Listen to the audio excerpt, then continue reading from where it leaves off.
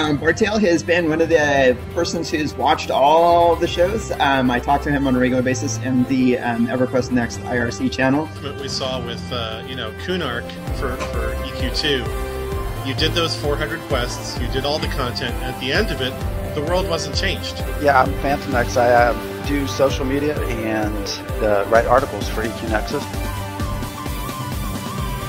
For the Fall of Bastion, um, there was a very definite. Okay, this is this is where your story is going to fit into the, the world.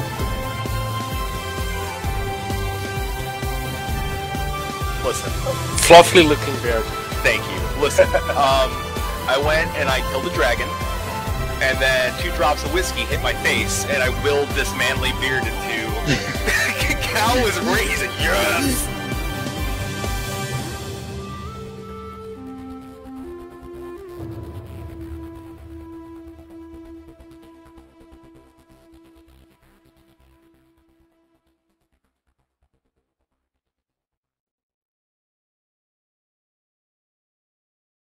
Hello and welcome to Evercast, uh, your uh, your premiere uh, EverQuest Next and Landmark podcast, um, where we connect gamers with the game they play. Um, this is our 50th episode. This is the 50th time we've done this. Um, that makes it sort of a big deal. As you can see, we dressed for the occasion. We're dapper as fuck. As fuck. Yeah, he had to get that in there. I am one of your hosts, uh, Tamlin. With me are, are three other normal uh, hosts. I'll give them an opportunity to say hi. Well, hello. Don't everybody speak at once. Oh, I'm, I'm sorry. Hi, I'm Kai. If you did not already know, I am the one that has a foul mouth. Um, but with us is also Lucy, whose mind is constantly in the gutter. So we're like if it weren't for the gutter, my mind would be homeless. Mine too. Hi, I'm Lucy. Hi, I'm Flatus. I I don't even know where my mind is. I lost it years ago. I know where it is. Right. Well, uh, thank you all for for joining us. Um, wow, it's been fifty, uh, a year and a half and fifty of these. So, good, good, been a good room so far. Um, we're, we're doing things differently now.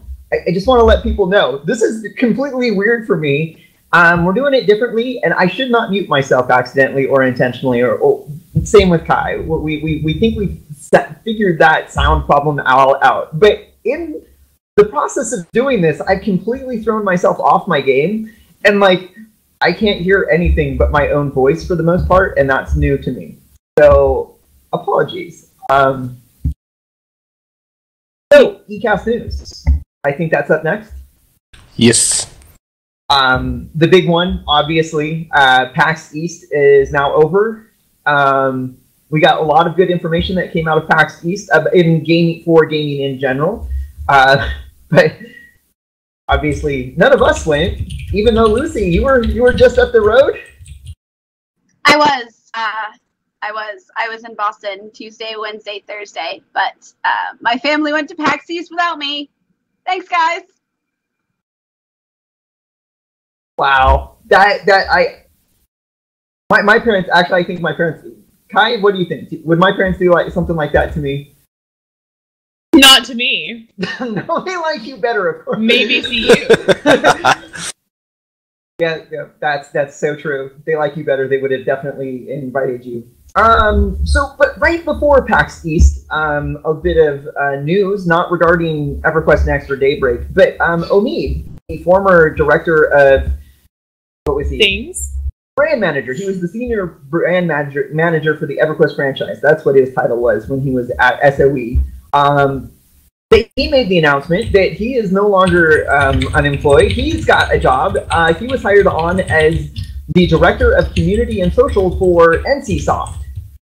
Um, now, because there's these weird kind of umbrella um, organ, uh, umbrella companies, um, what, whatever you want to call them. And uh, NCSoft is also uh, owns ArenaNet, which is Guild Wars 2. But we, we through discussion with him, we found out that he's not going to be working on like Guild Wars 2 specifically, even though there might be some cross opportunities. Um, but Flatus, the, that's a it's WildStar and Aion. Aion, Aion, WildStar and Aion. The, those are the two in his area, Ordon County. So he will be working on WildStar and Aion, which is, I think, someone like Omid would uh, definitely, I think, would be great for that WildStar community because I think they need someone like Omid. I, fantastic hire for them. Yeah. Uh, I'm, I haven't heard much on Aion Ion in a while, so that's probably needed over there too. Uh, but WildStar's fresh. I think that they, they changed a lot of things over there. I, I checked up some WildStar news. Like they stopped doing 40 man raids, rates, dropped it back down to 20. There's some things moving and shifting over there to kind of bring people back into WildStar. And I think Omid is probably one of the best gets they can get because he is such a rally for community person, and I think that is going to behoove them uh, with their MMO because they are still sticking strong with their uh, subscription model. So if if he if he can help in any way, that's always good.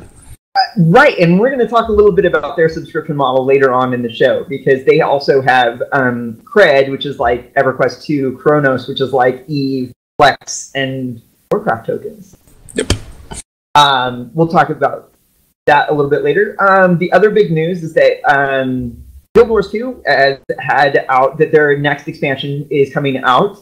Um, they the, it's the Heart of Thorns, and yep. currently, right now, at this very second, uh, Guild Wars 2. If you don't own it, if you uh, it's ten bucks um, through their website. It's on sale, obviously, to get people hyped for the next expansion. Um, and if I remember correctly, Lucy, this is the this is the game that you're playing the most these days is Guild Wars 2? Yeah, I've been playing it a lot. Um, I'm gonna get back into Landmark, obviously, to get all of the new outfits that they just released in the in the latest update, obviously. But uh, Guild Wars 2 has that just that sort of like mindless. I'm gonna go do this quest and get it like you know, it's it's directed. It's a theme park. You know what I mean? It's a theme park MMO. So if you're looking for directed quests and stuff like that, I and which I was just a little bit, I uh, got back into that a little bit. Uh, I've been leveling an Asura thief. Nice. His floppy ears. It's so cute.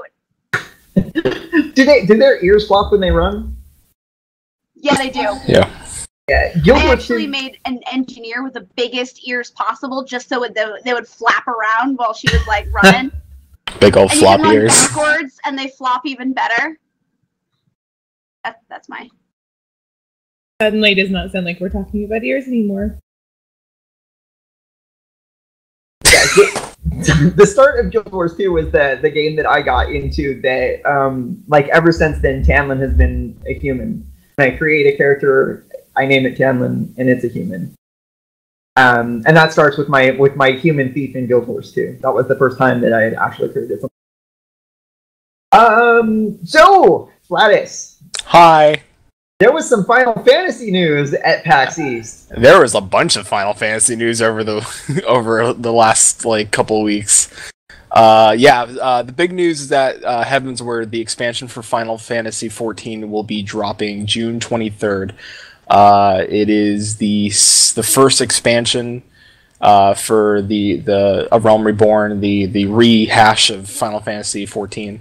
Uh, it is big news. They uh, big stuff's coming. Their flying mounts are coming. Dragons. Uh, the Heavensward expansion is up in uh, the Holy See of Ishgard is the main city, and it's uh, involving the seven dragons. A little lore there for you folks, and we're going to be fighting those seven dragons, and I'm kind of excited. Uh, I'm a big Final Fantasy nerd, and there's a lot of lore going on there. And uh, not only this time, the world is more expansive, even though it's one giant continent. This is a new area that we get to explore. Um, and as always, they have three new classes: the the, the uh, Dark Knight, the Machinist, and the uh, Astrologian. Astrologian being a tarot card, card healer with two different stances. The Machinist being a gun class with a uh, turret that can fly or do ground. You can different things with the turret, and then the uh, Dark Knight is a magic using tank with a right. two handed sword. And it's it's funny that they call it a, a Dark Knight because Pantheon when or yeah Pantheon like they got you know hey this is this is our Dark Knight class and they got you know some pretty heavy flack for that because of you know the obvious Batman reference. Um, Yeah. Well, it, it you know, Final Fantasy's been doing Dark Knights since Final Fantasy Oh, two two, so it's in their lore. It's in their wheelhouse for Dark Knights. oh, is it? Because I, I Yeah. okay. All right, Yeah. maybe they'll get a pass on that. Yeah. Actually, how he kind of Yoshi P or Yoshida Nak- Nakio Yoshida, the producer for Final Fantasy, during the Final Fantasy Fan Fest in Vegas, how he hinted at the new class was that he wore a Batman shirt, Oh, sweet. and he's like, "Man, I really love the Dark Knight," and everybody's like, "Oh." That's cool. I just remember uh, Yeah. like playing the first Final Fantasy where your warrior like get upgraded into a knight and your martial artist upgraded Oh, yeah. into a ninja. Yep. But I don't remember Dark Knight in the original one. But I've only played one and seven. one and seven are both good. Two, six is really good. Three is fantastic. So uh, they're all good, really. Eight. Some people don't like eight. Ten. I can. Ten. The mechanics were re- the fighting mechanics were really good, but Tidus looked like Meg Ryan. So that's take that or leave that one. What's wrong with looking like Meg Ryan? I named him Meg Ryan, so every time there was a cutscene, it kept saying Meg Ryan, and he would say his lines. It was really funny. Uh, Um, oh, Alright. also, uh, one more thing. They hit four million uh, uh, player Four base. million. So, so the the death of the MMO genre might be you know overrated or Yeah. it? Greatly Or- exaggerated. yeah, and then the subscription model too, because Final Fantasy 14 is a subscription model. So And we will definitely talk about that too, because Final Fantasy XIV, it, it might be the, the last holdout, right? Because they're like a you buy the buy the subscription, and you buy the game, and that's that's how they do it. Yep. And they're expanding their uh, their set too. So not only are they on PlayStation 3, PlayStation 4, PC, but coming June 23rd, they will be they will have a full fledged Mac client. So they are across the board one of the largest like offering in MMOs. And if they can somehow figure out to get to a tablet, then some games I are be a lot of trouble. Wow, that would be awesome to see an MMO play on a tablet. Yeah. Oh, because you can uh, play the game with a controller. So if they can figure out to get the technology or stream it to a tablet, would be interesting. All right, um, so that was our non-Daybreak uh, slash EverQuest Next uh, news. We have a couple of EverCast news items for um, Daybreak games. Um, in the last episode where we showed the, I now you get to make fun of me for saying this word again, the iconography for for Qeynos. Um, I showed the picture, showed the images for their icon, and said that the flares that are on the icon represent the eight. And I heard that, and I assumed that they meant the eight races of the combine. Uh, somebody else heard that, and they interpreted it as the eight races, or excuse me, not the eight races, but they thought that the eight gods. Um, so I, I, I, I found the audio that I heard, and I'm going to play it for everybody real quick, and so that you can hear what I heard, um, and get an idea of you know what you think. Is it the eight races or the eight gods? A lot of Um, Qeynos iconography in this. Like we have uh, we have the Qeynos Claymore there in Mhm, the uh, Which I as think a centerpiece in that's- many yeah, of these. That's probably a good, simple Yeah. um, design for like something that is going to be right in the middle of town or For on the side of the Yeah. city walls. And then you, you have the Qeynos uh, gatehouse there as part of it, and then we've got sort of the flare filigree on the end there, which represents the eight. Um, This here, yeah. Then that's Yeah. that. So it's sort of a, it's a com it's a combination between the old Qeynos um, banner symbol, All right, and which is um, that, the gatehouse. I'll come back. So that's just a little bit. Um, I've asked for clarification, and once we get clarification on what they actually meant by the eight, um, I- I'll let you guys know. That Chat, chat's trying to figure it out too.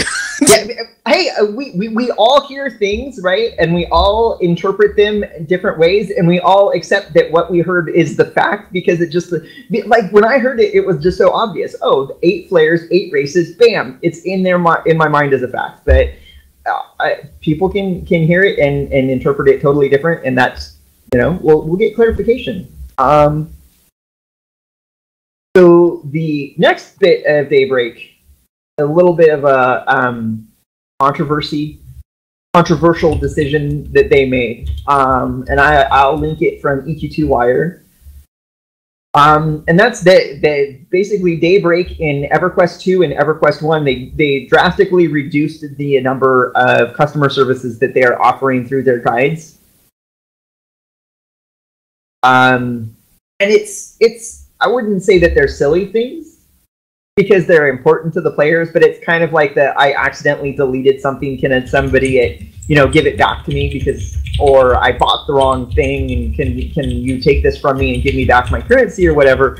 Uh, because it's you know it's those little sort of things um, that that are you know what do you call them? Quality of life issues. They just make the game a little bit easier to play. And Daybreak is like we had to, you know, we cut down our customer service branch, so this is like, uh, you know, life is not fair, and life can sometimes be tough, and you're just gonna have to, to, Deal to with it. with it.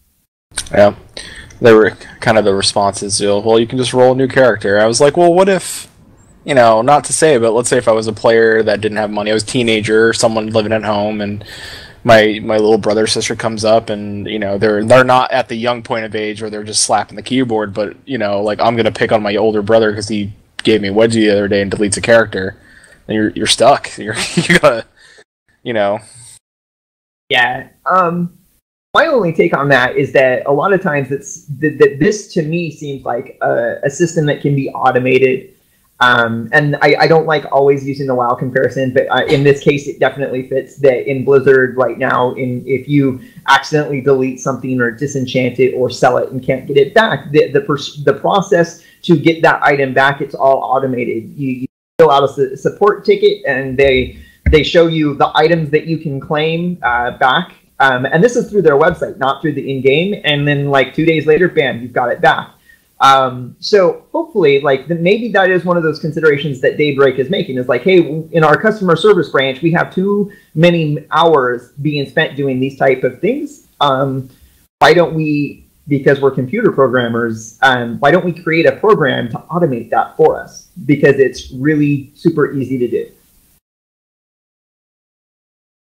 I agree with you. It's the same thing like we talked about when uh, the whole Columbus Nova uh, buyout kind of took place. Like we kind of want uh, we you, Dan and I are both in agreement where we kind of want to see them come out of 2003 and come to about the year at least the year 2013 2014 Yeah. and have like a launcher have uh, the ability to download a mobile authenticator um, things like that like stuff like I you know quality of life things so Right. And I, and I was also just looking at the, the list of services that they back down on that are easily automated. Like in Warcraft, if your guild leader does not log on for 30 days, it doesn't mean you have to all leave the guild and, and disband it and inform and start a new one. You just wait 30 days. If the guild leader hasn't logged on in that period of time, anybody in the guild can claim it. Mm-hmm. And so it's like, okay, 30 days, somebody claim it. Um, and so you don't necessarily need to have customer service intervening on your behalf to get these things done if you have an absent guild leader. You just automate it. Yep. We totally skipped something for eCast News that we're going to have to go back to. rewind well, I said that we were done talking about all the non SOE things, but Lucy, you were going to say? Um, I just hope that the services are still available, automated or not, because I know that there have been a couple times when I, you know, either had somebody drain my guild bank, like somebody's account got hacked in my guild in World of Warcraft, and I had to go and talk to customer service and get the stuff back and stuff like that, and and like it's not like that we couldn't have rebuilt it because we could have. We were a tiny guild. It's not like we had much. But it was really nice to have that like have the company be like no we got your back. We understand it happens. You know i, I want that got your back sort of service to still be there. Automated or not i want it there Right. The- unfortunately, your camera froze at a bad I am so sorry. oh no i I'm making a stupid face. You're making like the like you're getting ready for, for uh, that wooden stick to Ready get stuck your in your mouth. close-up? Uh, yeah. Like it looks almost like you're about to bust out a high note. I'm gonna lie. okay. Uh, so Lucy will be right back with us. Um, Is this better? yeah. Not yet. No. Am I still fizzing? Yeah. Okay. There um, we go. Uh oh. Fix it. It, it's fixed. It's fixed. Hope you all got your screenshots, guys.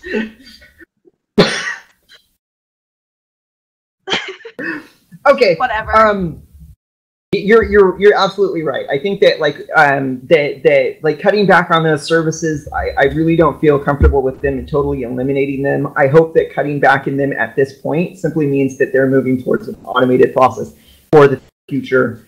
Um, we'll, just have to see because right now, like I, I linked the article and it says like, and it but it also says like the guide thing. So I don't know who actually can still continue to.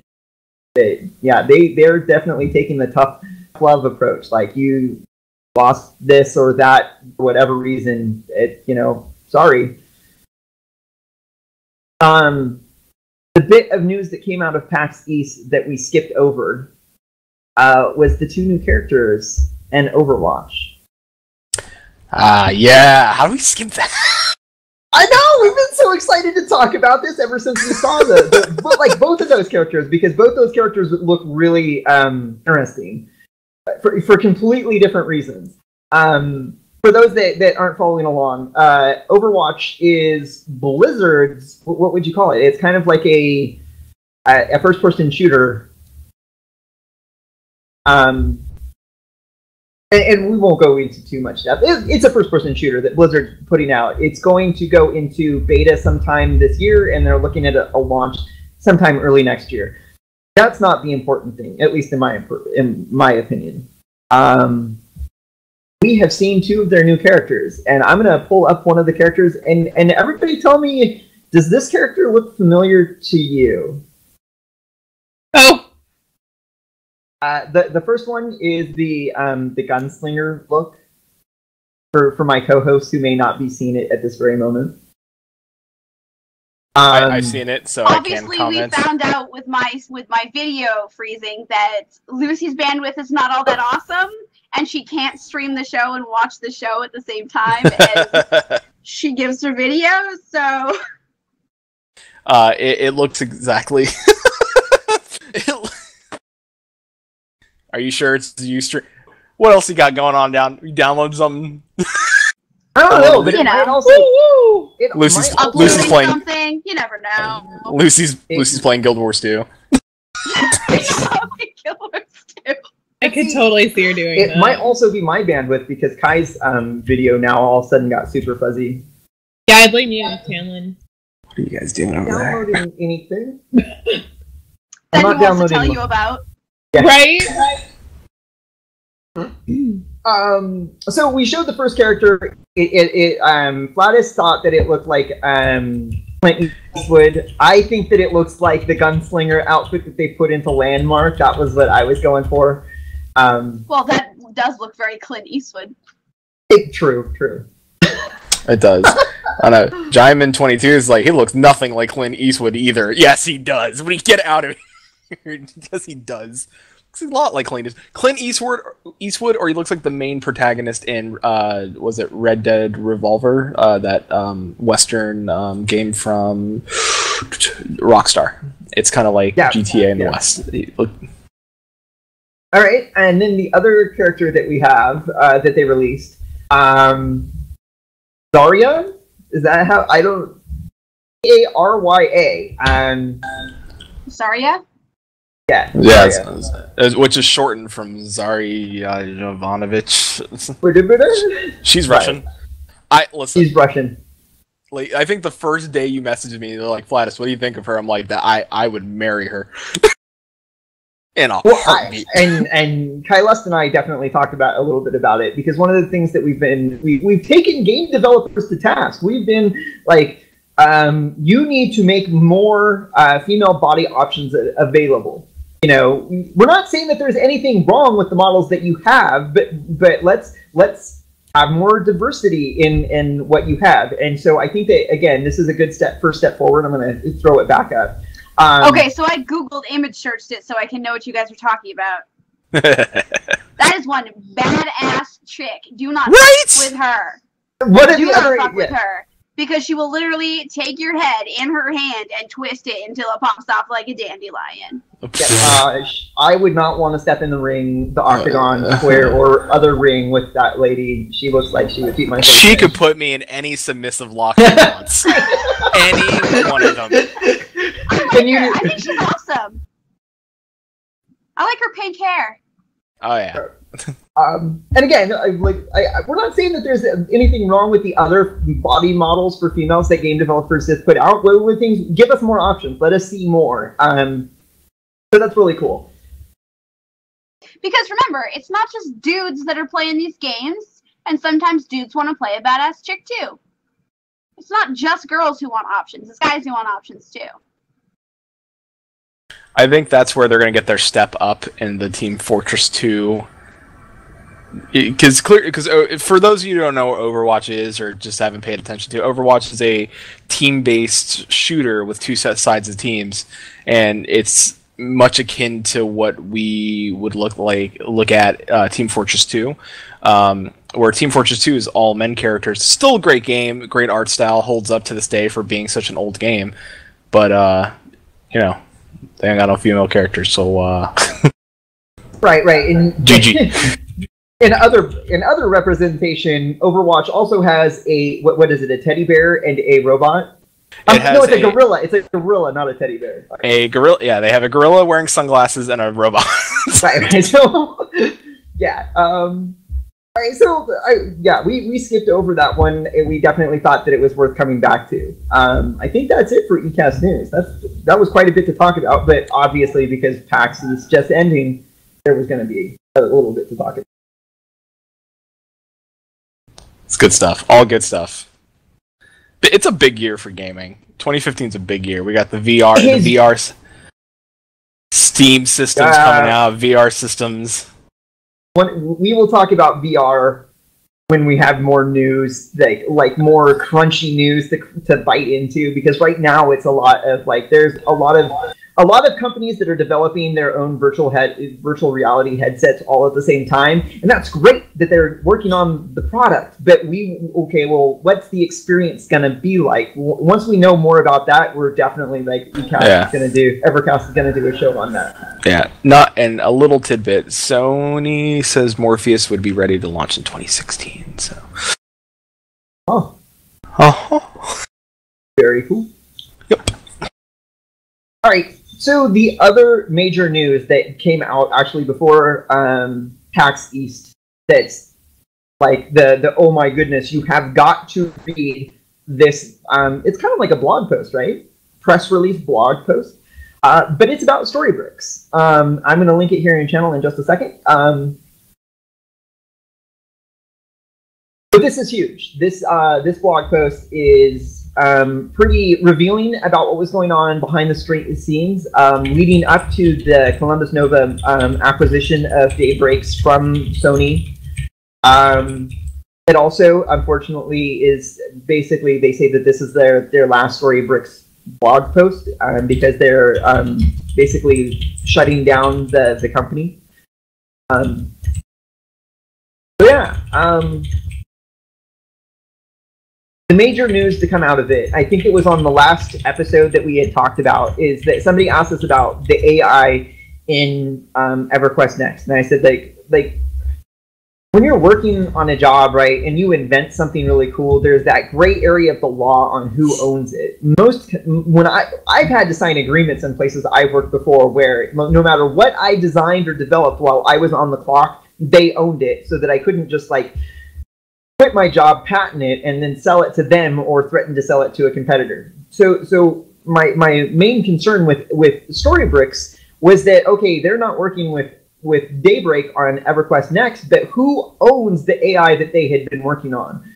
Because if that was owned by Storybricks and they're not working with with Daybreak anymore, there's a chance that they were like, okay, this is our AI and we're going elsewhere with it. Now we know uh, because the the blog post that I just linked it made it perfectly clear that, that Daybreak is a co-owner of that AI. So so that there that that fear about what the AI in EverQuest Next is going to be like that's totally alleviated because Daybreak owns part of that. Uh, and, and, when I say co-owns it, it doesn't mean like, oh, I own this piece and I own this piece. Um, in a legal sense, it's more like I own 50% of it, you own 50% of it. So we, we own the whole thing just in different shares type thing because it wouldn't make sense to do it any other way.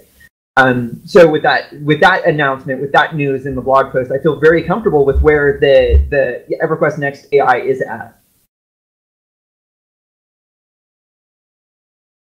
I, I agree. No, no, I agree with you. I think um, I I think it's the one the read was completely interesting. I think it was interesting that Storybricks is going to buy or, or uh, at least attempted to buy. That was uh, the other bit, yeah. Yeah. Um, knowing that the the everything they worked on with SOE slash Daybreak now Daybreak is with Daybreak still like they they they address that in their goodbye blog um, that it is something that I think a lot of us kind of feared a little bit, because especially when Terry oh, yeah. said, "Oh, we we were doing it in house," but it mostly was we're doing it in house, but we still have the technology that was supplied to us already, or everything we've worked on is still here. So I think that'll re- alleviate a lot of the emergent AI questions, or a lot of the are they still using Storybricks? Yes. Is it going to be called Storybricks? No, probably not. No, but is it still short movies? did anybody did anybody see the tweet from Pentapod? She responded to somebody who did the Triforce, and I don't remember who it was, so I'm sorry that I can't give you credit. But they did the Triforce logo, and they had like Sony and like Storybricks and and the Voxel Farm um, the, all, all, the, and they're like, ah, oh, it makes a hole. And she's like, and Pentapod was like, um, actually, those are just companies that we hire, and you shouldn't think of them as like part of it. And like when I read that, I was like, something's up. Like immediately in my brain, I was like, what is happening here? Yeah. And then it obviously it wasn't until a week later that we realized that one, they became Daybreak Games and then a week later, two story Storybricks done. So it was kind of like a, it was like a foreshadowing sort of thing. I don't know if Pentapod uh, meant it that way, but I kind of picked up on it. I was like, why is she clarifying up. that? Yeah. But I, for, for where you know, over what has happened over the last couple of weeks with um with Daybreaks and SOE and Columbus Nova, I think the game is still like, I have not like gone like the sky is falling mode. Um, the closest thing that would have done that to me is when Storybricks said that they weren't working with with uh, Daybreak anymore. But now that I've read that blog post, I feel better about where the AI is, and that like their their their four pillars of the game. It, uh, that was the one I was worried the most about, and it still sounds like it's in place. So all good things considering what has been going on. Um, he, he, has to gone. The sky is falling just like, a little bit. That whole afternoon, because and that was because I was at work and I was reliving Vanguard all over again. it's just having a little, little moment, a little flashback really moment. Right. So, um, a couple other things that come out of that blog post is that um, we had mentioned Storybricks was trying to buy um, uh, SOE away from from Sony, and that confirms something else that we'd also heard um, is that that SOE had been up for sale for quite a long period of time. That that that the the you know the the management at, at SOE understood that being part of Sony was actually hindering their development because it was keeping them off of the Xbox platform and like they talked a little bit about mobile markets a little bit like these are all places that they would like to expand into but they just have it and and maybe well they definitely weren't able to get on the Xbox and now they can so that's a huge step forward. Um, so one of the things that Storybricks said that they would do if they had actually been able to purchase is they might have made even more severe cuts um, to the staff. Um, and that's like wow. Um, they, they, I mean, now that they're they're they're upfront about it, um, I, I'll have to ask you guys in the states that you work in, uh, do, do companies have to report to the state if they if they shut down X amount of, of jobs? And you know, I don't know. yeah, I don't know if it's a, a federal law or a state law. I do know that in Washington and California, if you lay off more than a certain number of employees, you have to report it to the state. And so, obviously, when things are reported to the state, you can submit a Freedom of Information Act uh, request to the federal or state government, and you can get those numbers. And that's, uh, I mean, it's pretty obvious that that's what someone did because they got the uh, the concrete number of positions that were laid off from Storybricks, or not from Storybricks, and that was 140 people. I didn't think they still had 140 people working there, to be honest. But that's like, wow. Um, they they really took it on the chin on that one. I, I I can probably say for my company that I used to work for, when they did the major cuts, I think they did them staggered, in a sense. Also, like sometimes they, even though there was cuts, we don't know for sure that, oh, you know, how many people took a package instead of saying like, oh, we'll let you go, because sometimes they offer packages to people and saying like, if you're willing to leave on your own accord, here's money, here's this bundle that'll that you know, here's all your vacation time plus whatever. And sometimes that way they can get away with not having to say, well, bye, versus Right. are you are you willing to leave it? I guarantee some people are like I, I, I can see maybe like certain people that didn't leave maybe the first day or some people that made the choice.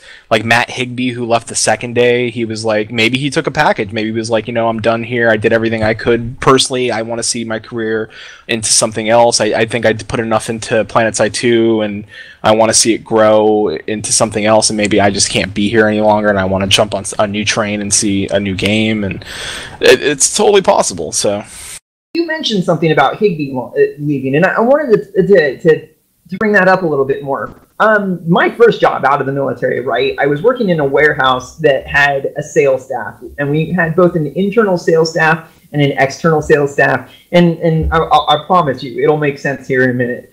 Um, the external sales staff, the the the door to door salesmen that went to all of these different companies to try to sell our product to them.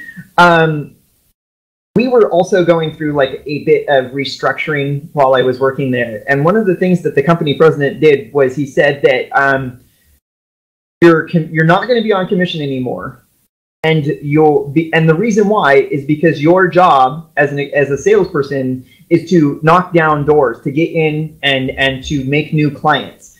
Once you've made the new clients, we don't want to pay you based on the work that you've already done. We want to we're going to turn that over to our inside sales staff.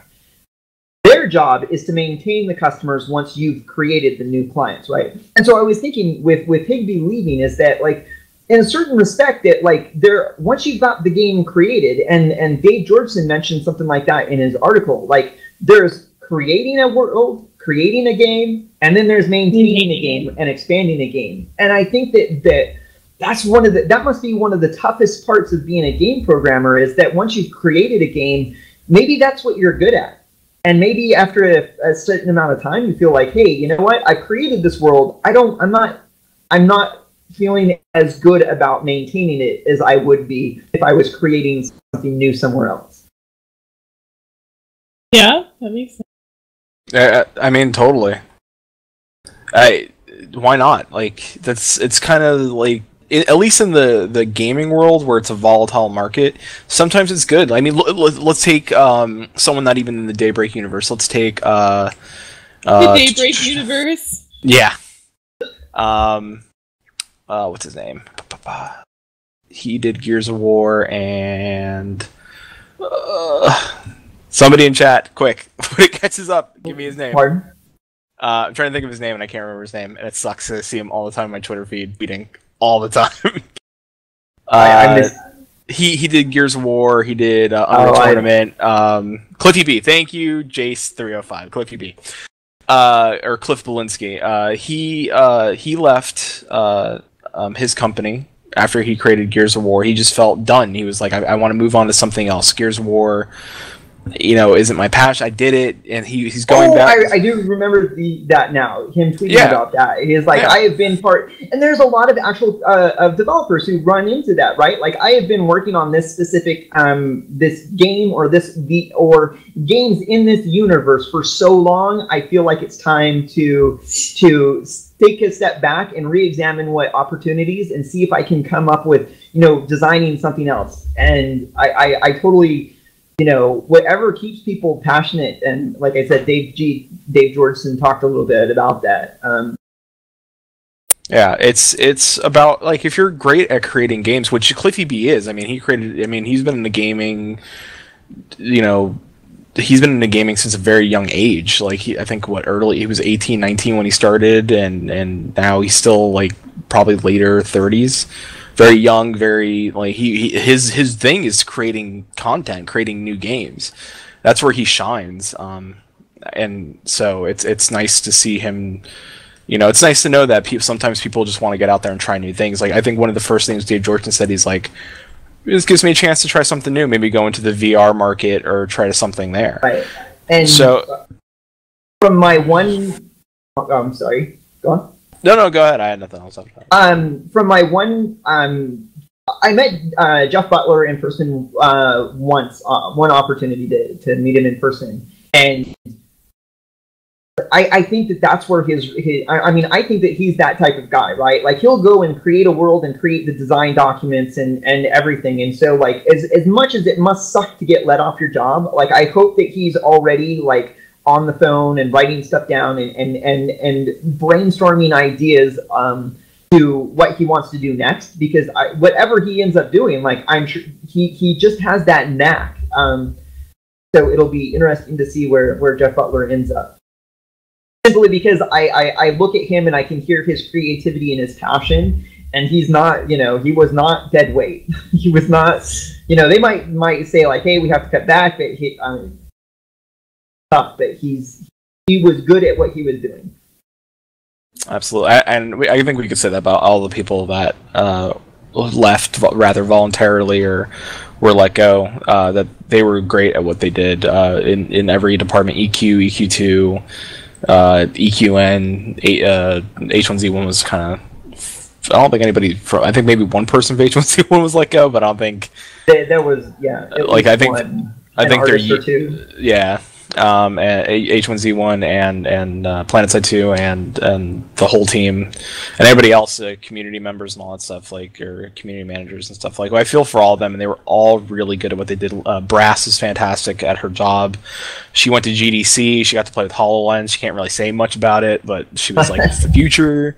I know she had a bunch of uh, interviews at GDC, so I, I hope the best for her, and I want to see her move on to great things. Like we we talked about Omid earlier, Omid moving on to NCSoft. I think I think it's a great. You know, some people's stories end at certain places and they move on, and it's good, especially the gaming community, because you want to see where they go next and see what they can do with whatever they're going to do next. You know, we could see Dave Georgeson open up his own little indie company and start making some minor VR things and move on from there. We never know. All right. Um, got about like ten minutes, uh, fifteen minutes before break. Um, so one of the things that, like, uh, if you watch uh, Landmark, Landmark, Landmark Live, as I trip over my words, um, Landmark Live. Um, Terry was was like, if it's not done by Friday, you know, we're supposed to call him out. But he did. He got it done, and that is the um, the updated blueprint. Uh, if you go to the forums, uh, the landmark forums, they've updated the blueprint. Uh, Lucy and I were talking about it. We were pretty sure that this is the, the the road to open beta, which will be end of next month, early May, right? Yeah. Definitely, because they said that there was only going to be one more wipe, and it was open beta. And they also said that there's going to be the wipe when they do the uh, new large humans and the new biomes. So Right, and that's uh, they showed. Um, the the props for the new biomes are in now, like the the deciduous. gorgeous, Right, the fall and autumn uh, trees are in the game. Uh, uh, the- deciduous. Come try Yep. deciduous. Um, and and uh, then the biomes is, biomes are coming with the next wipe. Well, with the wipe, and the wipe will lead into open beta. So we're like, it's it's right around the corner. Um, pretty exciting. Yeah, uh, Fugazi sent in chat. He said on Twitter they will not do an open beta wipe while a workshop is going on. But after workshop, Uh, right, right. Which would you know what? We're in the middle of the Qeynos build. Um, Qeynos build and the Qeynos workshop during you know sometime late April. Hold off on doing the new workshop and then wipe the servers and start everything up again um, in an open beta and announce the next workshop. That sounds like a you know like a pretty good time frame if I was messing around with things. give it a week just to roll out any like major bugs that may hinder the game. Over. Always. Always, yeah. Yeah. But- we- Calls it like I sees it. Uh, all right, I'm gonna try and find that that link for the updated blueprint.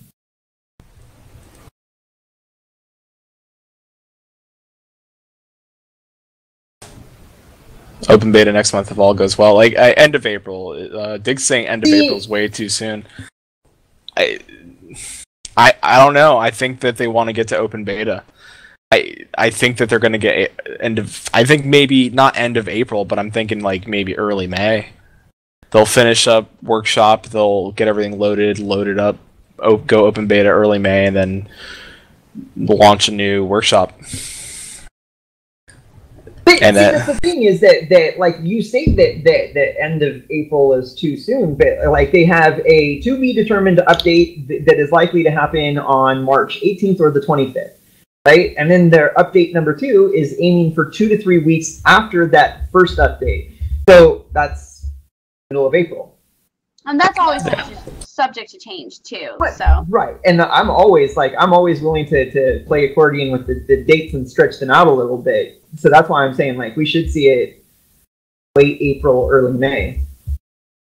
Um, and that should, and again, we're going to see a couple of whites during that time because they, they said that they have to to introduce the new biomes and the new character models, and then bam, we're, we're there. We'll see, guys. We don't. We'll see what they do. We'll see.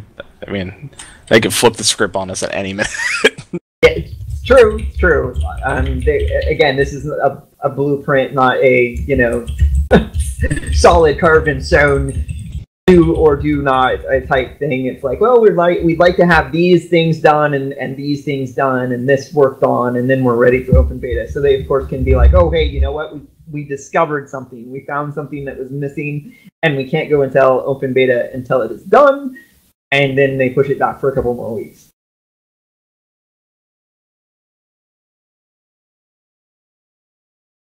So what else do we got? That that's not just the large humans um, combat iterations, and we might have to take a look back about what changes that they're proposing for the combat iterations, because they mentioned that their their combat iterations are changing. Um, I myself and Super are looking forward to the crafting console. You know, seeing what they do with the crafting, um, and then yeah, because we haven't even seen altars yet.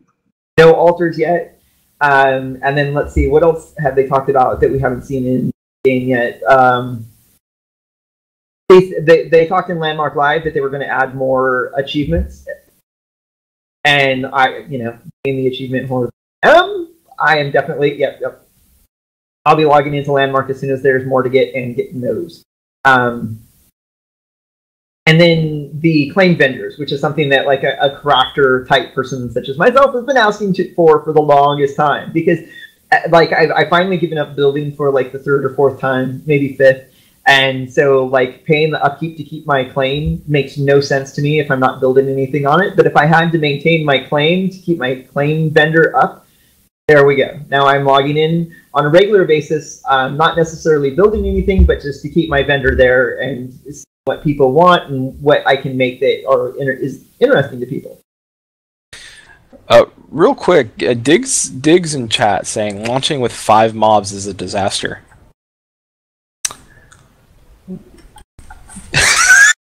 tell tell them. I'll- that depends on whether or not the combat iterations include more AI. That's true. Like if if those monsters start hunting in packs, we're in trouble. Well, when Minecraft launched, how many different monsters were there? Uh, I can only think of four off the top of my head: zombie, zombie, skeleton, creeper. spider, creeper. That was the four main on the land. Then in the uh, Nether, uh, there were the zombie pigmen, the uh, the dark skeletons, I guess, uh, and the uh, Wither. the wither. We're Yeah, talking with the wither. yeah. Woo! The, like the little the thing that shot fireballs and cried.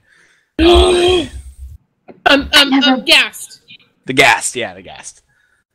I never Uh, played Minecraft. That's So thing. it didn't have a lot though, because some of them were technically reskins. Like the zombie pigmen were just zombies with the reskin. Right. So I, I It's, mean, I uh, think I think from a true MMO point of view, like yeah, you you definitely need more than five types of monsters, but from a but again, Landmark is more of about building. Uh, it doesn't even have like a true survivor mode. It's just kind of like a building game with some extra stuff attached to it at the moment, and we all know that it's going to be expanded from there. But I don't think that. Well, the last time I logged in was looking for a fight to go around and kill stuff. There simply just wasn't enough mobs for me to go running around killing. Now Diggs is saying also in chat, five mobs are not going to keep EQ or WoW players playing Landmark. It's not th- that game. That I was just thinking the same thing. It's, yeah, it's true. it's it's not that game. At EQN is that game. EverQuest Next is the game that WoW players are going to go play or EQ players are going to go play. Landmark is the EQ version of Minecraft, and I only expect maybe at most ten mobs. Like you have the oh no, there's wisps. What else is there? The the golems. Chompers, abominations, and the sloughs. Hoo-ah. Yeah, Sloughs. sloughs. I think It's a there's fun- four, Yeah, but there's like different skins of them for each biome. So um, yeah, it, it, I- Landmark- no, it's it digs. It's not that game. Landmark still- is not that game. It's, They they want to be. for it's for creation. Like it's putting content creation in the hands of players and giving you the chance to entertain yourself. So, so Pathfinder, It's not a Pathfinder, when when Pathfinder was was they they funded through their Kickstarter and their developer came up with this blog post and he put it out to the news, um, th- this you know as a press release to these news organizations and to, to basically repost it. And he's talking, he called it the MVP, which is the minimum viable product. And for and he's like, Pathfinder is going to launch when we feel we have an MVP, like a minimally viable product. Like, what features does it need to be minimally viable? And that's the where I think that Daybreak is looking at with with um, Landmark. It's like, what is the minimum we need to have in the game for it to be viable?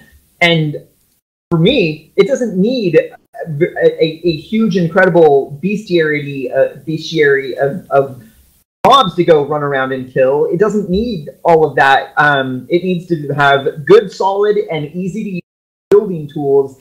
And as they go through, they can add all of that extra stuff to it. But at, at the very bare minimum, that's what you need. Diggs, I disagree. We disagree fundamentally. I, I, unfortunately disagree. I mean, it is and it isn't. Like it, it's one of it's like kind of like Minecraft. Minecraft is and is not that game. Minecraft is a game for like if I just want to go in there and build something, I can do that, and if I want to do something for myself. But then there's people that build ma- map packs and do that stuff. Right, and, and that reminded me back of what um, Storybricks um, had mentioned during their press releases. They said that if they had gotten a hold of of, of SOE, if they've been able to purchase it from Sony, they one of the things that they had considered is allowing players to host their own servers, and and that's like uh, when we're when we're talking about like is that the game for the WoW community or the EverQuest community? There was a bit of debate going on um, with some of the other people that I know that play EverQuest.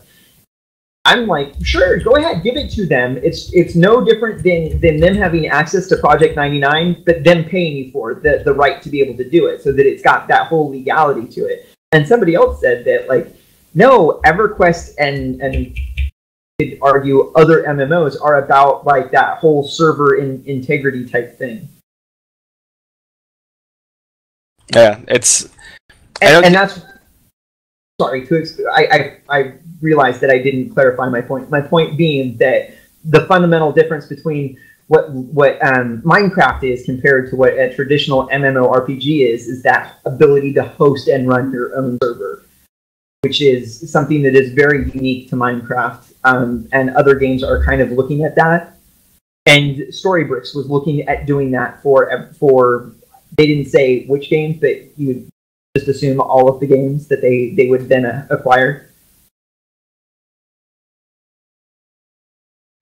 Yeah, it, it, here's a fun tidbit. If you go back to EQ2 talk, and we've had Delmon on the on the show, and I don't think Delmon's in chat tonight. He may be doing a raid or something like that tonight, uh, or he may be at PAX. We don't know. Uh, but if you go back to, I, and I can't, I'm sorry, I can't give you the the exact episode, and I will try to find it and maybe tweet it out tomorrow um, or dur- during this week. I'll have to go back and listen. But there is a interview he did with Dave Georgeson. This is way before EQN, uh, but he was Dave Georgeson was talking about Minecraft and how he played Minecraft. He was like, that was the he's like that's the future of gaming, and uh, very interesting that later in life, later maybe a year later. Uh, that EQN and Landmark are announced. I, I, I agree with you, Diggs, that Landmark isn't Minecraft, but at the same time, you know, it is a building game with these mobs integrated into it, um, and they don't. I mean, they're going to go to open beta soon. They're they they just are. They're they're not they're not not going to go to open beta. Not like they're not going to wait a year because they've already said like they were on the road to open beta. They, they were on the road to open beta. I can see open beta, even if it's pushed back to June, I think they're going to release it with five mobs.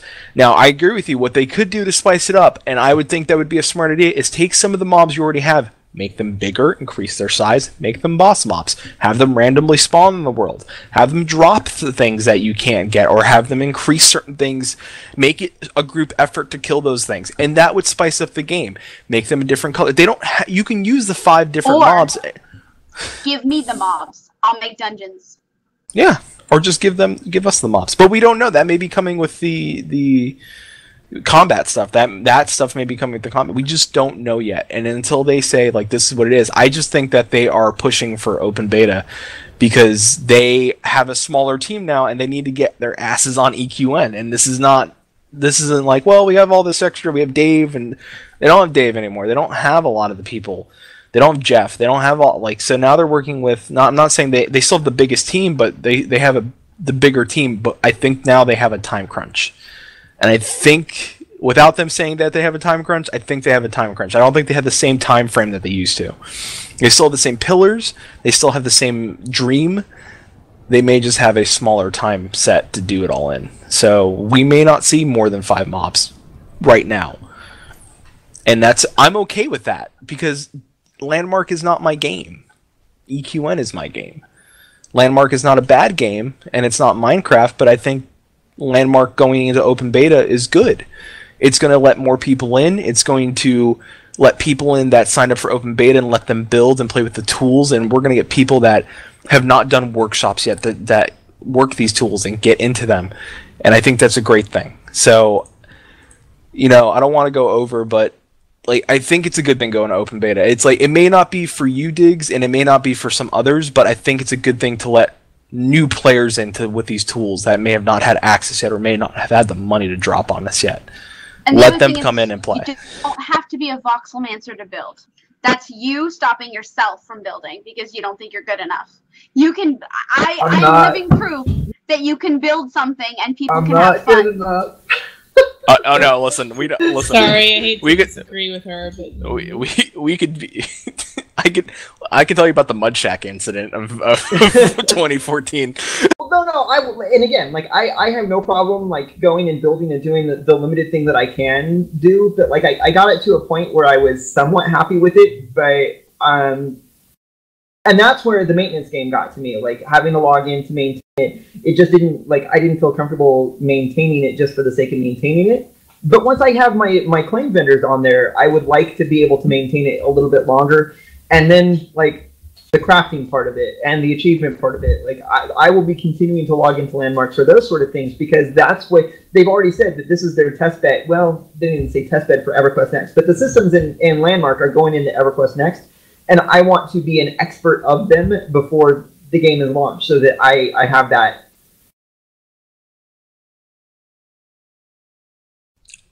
All right, listen. Let's go. Let's go to break. I think. Why don't we do this? let's go to break. We'll come back, and we'll spend maybe another ten minutes talking because I think some people have some concerns, and I think we could probably take maybe ten more minutes to talk about this, and then we'll move on to our next thing. Maybe five. Maybe we'll do five. five. Oh, do we have five minute conversations about just about Yeah, anything? you guys are gonna have to cut me off on this whole landmark thing. because I'm gonna go off a rant. oh boy. Oh, have your drink ready when we come back. Uh, do you want me to uh, announce this video, or would you like to? I can. I can. I'll do it. um, Go for it. uh, for those of you uh, who didn't get a chance to uh, watch uh, yesterday, w- uh, Chuina uh, is now married, uh, uh, or Chad. We'll call, I'll say Chad this time. Chad married uh, Kelly yesterday, his fiance of. Uh, oh no, it's been a long time since college, I guess. Uh, Well, when when I met him at SOE Live 2013, they were engaged. They were engaged, so it's been a while. Um, and uh, Chad, as you as you know, was a big part of uh, Evercast starting. Um, so this is a small uh, eight minute video of the the ceremony, uh, and I I know that he wanted everyone to be there and watch.